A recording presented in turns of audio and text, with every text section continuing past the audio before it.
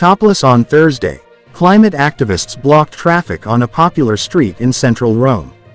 The protests were held to protest the Italian government's climate policy after severe rains killed two people.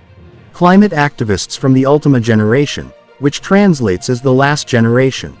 While later being taken away by police for impeding commuter traffic. The gang had previously carried paint at Milan's La Scala Opera venue and the state lender CDP's headquarters. In addition, they tossed soup at a Van Gogh painting in Rome and flowers at an Andy Warhol decorated automobile in Milan. On Thursday, Last Generation published footage of a small group of activists kneeling on zebra crossings in Rome and stripping naked or taking off their tops.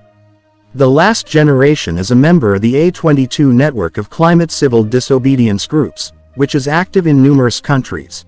A number of other organizations, such as Just Stop Oil in the United Kingdom and Stop All Growth in Canada.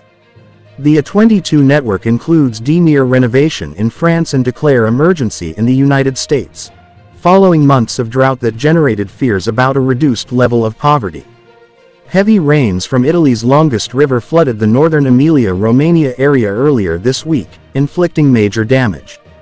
Extreme weather is being blamed by campaigners on climate change induced by the usage of fossil fuels.